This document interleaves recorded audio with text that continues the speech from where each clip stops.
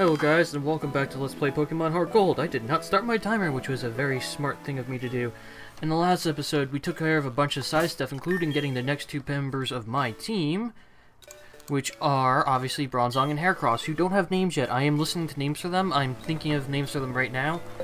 But I figured I'd give you guys a couple of episodes to try to figure out names for these guys, and if I like your names better than my name, by all means, I'll, I'll put them on.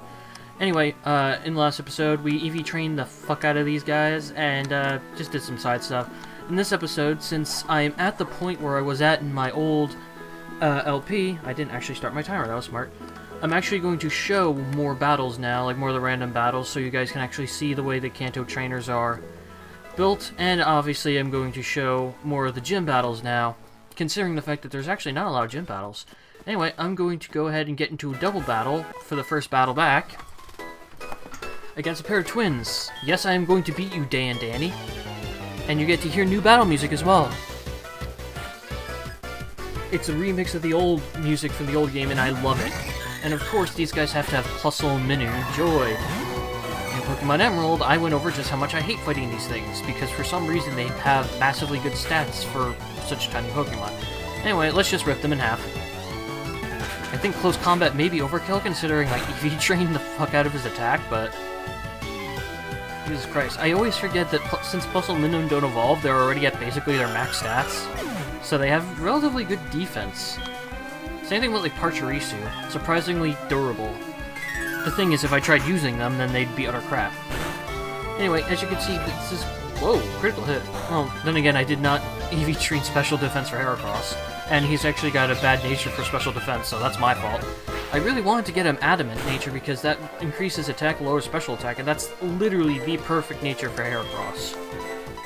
Anyway, sorry, I had a little bit of a hiccupy burp there because I just finished a cup of coffee, so if I seem a little bit more alive, that's probably why. Coffee is God! I know, I, I could try to sound a little bit more, more, more creepy next time. I'm also talking about a mile a minute, I should probably stop that. Yay, 13 grand. I should probably give one of these guys an amulet coin since these are the guys I'm trying to train. Anyway, yeah, I decided against keeping uh, Weezing on my team because Bronzong has the defensive Weezing with better typing. And is also good with special defense, so... Whoop. Where'd my amulet coin go? There it is. And boom. And I decided on Heracross over, um, over Scyther because Heracross is already close to his max stats. Because he doesn't evolve, and I can't evolve Scyther on a DS emulator unless someone must send me a video tutorial on how to do it. Cherubi! He was introduced in Gen 4 and evolves into Cherrim. Eh, he's an okay grass type. What does Worry Seed do? Acquired Insomnia. Okay, that's fine. I think Worry Seed just makes you swap your ability for Insomnia, which you know, for Bronzong isn't that bad, considering Cherubi doesn't have any uh, ground-type moves, so that's fine. Oh, so it knows Takedown. That's new. Do 4 damage, even though you're only one level lower. I love Bronzong. My first time using him, and I already love him. Unfortunately, Bronzong does not have very good special attack. his actual, his higher stat is actually physical attack, which is, eh. I would prefer his be special attack considering he learns one physical move besides Tackle, and that's Gyro Ball. Which I should probably be using, considering Bronzong's speed is like 30. Oh, well, I get a level up? Awesome, level up. And... Oh, only 3 and 3? Really? After EV training, I only get 3 and 3? Come on. Oh well. Oh, no, no. I want to show one more of these battles. As a matter of fact, I think there's only one more battle here. Yep. I'll show this one, and then I'll go to the gym. Walking along with your Logan sharing blah blah blah blah. Anyway, off screen, I went and talked to Whitney. She is in the sixth floor of the Goldenrod department store every day in between noon and 3 p.m. And you call her every day between, um, not every day, uh, yeah, every day, in between 3, uh, noon and 1 p.m. for a rematch. And I got her at 2.30, so I couldn't call to get her into Fighting Dojo, but that's life. And did I get anyone else's number? No, I think it's just hers. I wanted to get, um, Jasmine's, but I was like a half hour too late to get Jasmine's number. Boing. So yeah, only 34 speed. Unfortunately, Slakoth has almost no speed, so... Why that is not at least a Vigoroth, I don't know.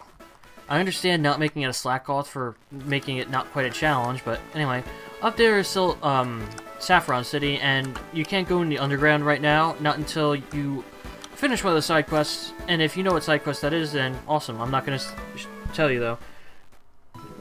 No, it looks like, uh, yes, the Capitals lost. They lost to the Bruins. That's awesome. That's exactly what the Devils need right now. Unfortunately, the Maple Leafs and the Red Wings play each other, so the Devils literally lose in either situation there, but the Bruins just clinched the Atlantic Division with that win, so congrats for them. Goddamn good teams. One thing annoying about Bronzong, getting into random battles. Jesus Christ, this guy can't run from a level 30 Tentacool. I had to wind up killing it because it used Wrap on me. Anyway, hello.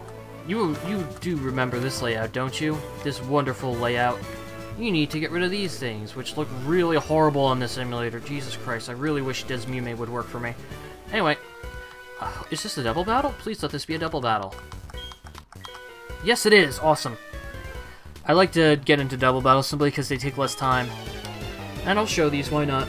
Considering the fact that my last episode was literally entirely filler, I might as well show you guys some battles here. Plus, it's the, uh, Ooh, high levels. Plus, it's the next generation, the next area, and I didn't get to this area in my old playthrough, so... Anyway, might as well confuse the frig out of Jolteon and then show Pikachu what it means to have low defense. Or, you know, Jolteon can use Helping Hand on Pikachu, and Pikachu will probably use Volt Tackle and kill Heracross. Although not in time. I won't mind if Heracross gets paralyzed here. You're two, only two levels higher, you have crap defense, and Heracross's attack is ridiculous. I'd be very surprised if you survive that. The good thing about ele uh, fighting electric types is, very generally, they have low defense. One of the huge exceptions is Magneton, Magnezone, who have actually got really good defense, which is why I kind of want to use them, but... Fluffy, level 43. And... Why did Bronzong not go there? That was weird. Screw it, uh, I'll just keep using close combat. Oh, he did use it. I just wasn't paying attention. that was smart of me. I did not realize each of these guys had three Pokemon, otherwise I probably would not have shown this fight. But I'm already in it, so why not?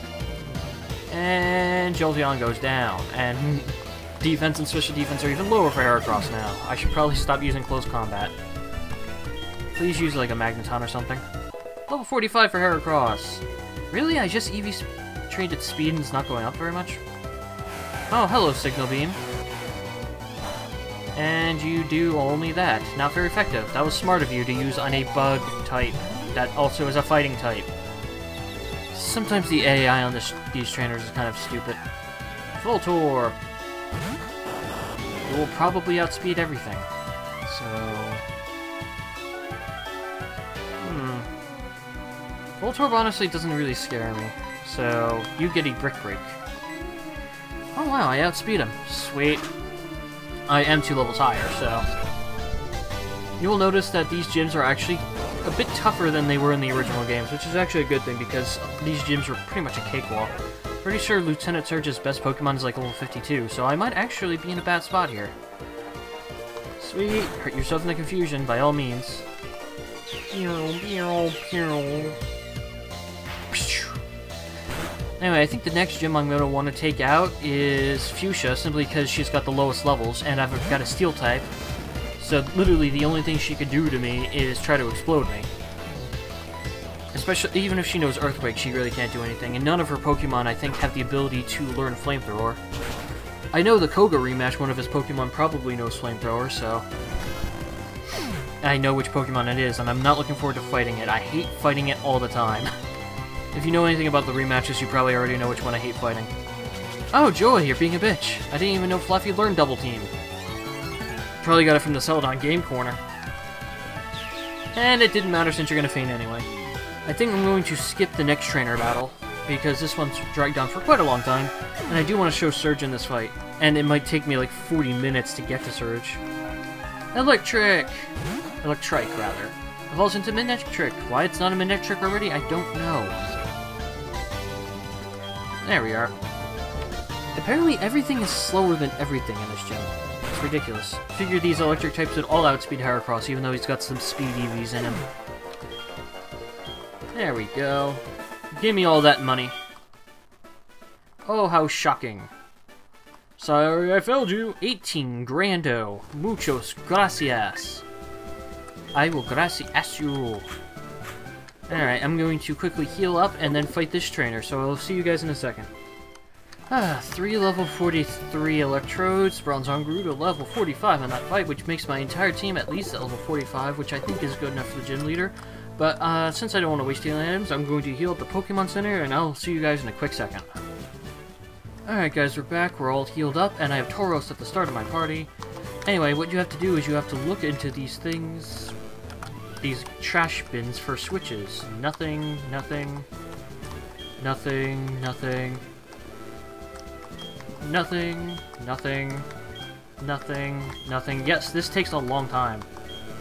Nothing. Secret switch at the bottom of the trash can. Now, the next switch is going to be one right next to it.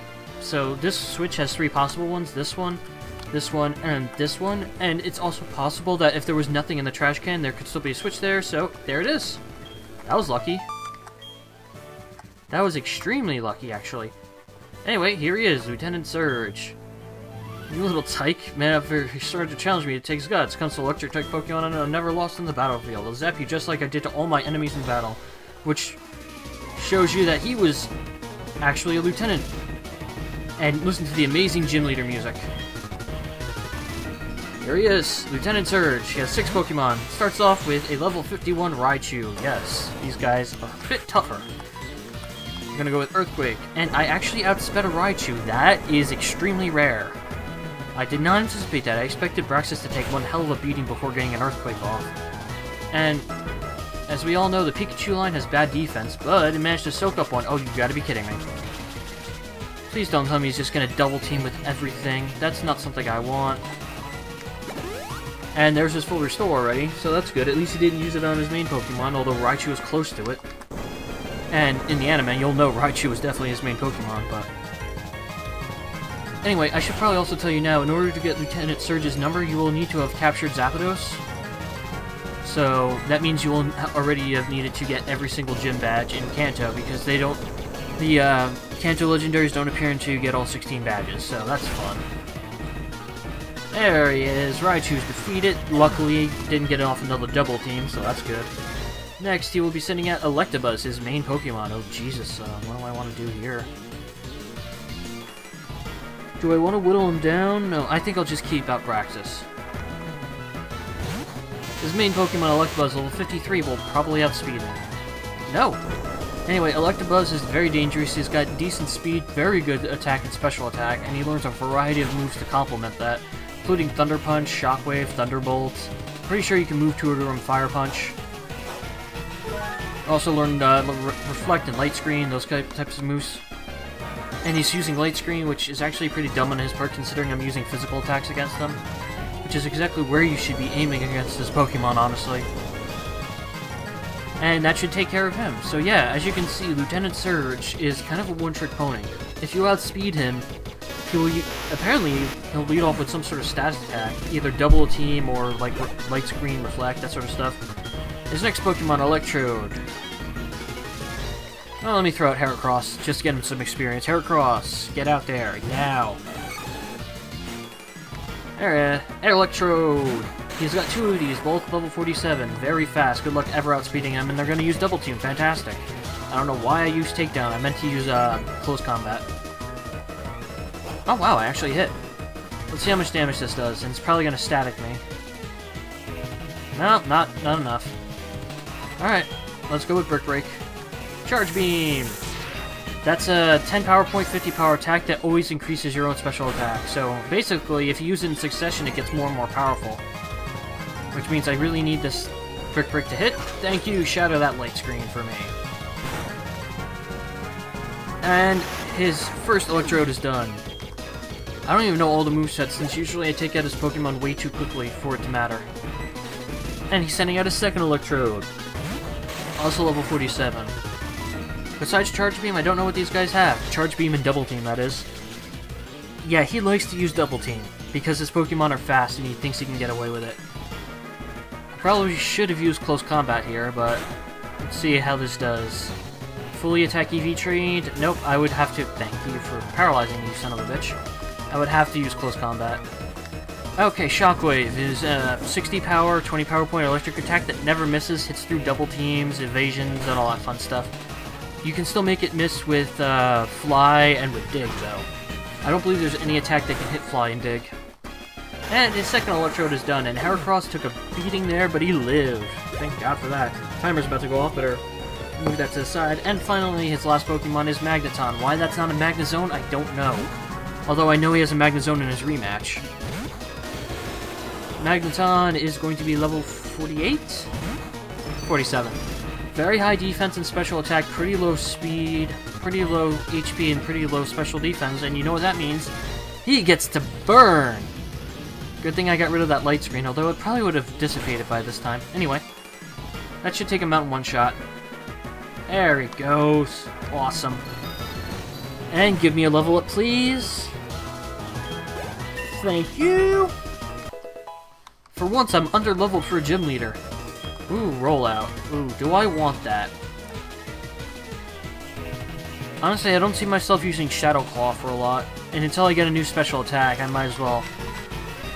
Yes, Shadow Claw is the better move, but I can actually hurt flying and fire types quite easily with rollout, so... I still need to get him a better special move. I haven't decided yet. I might give him Hyper Beam, honestly. Yes, I'm strong. I get the Thunder Badge.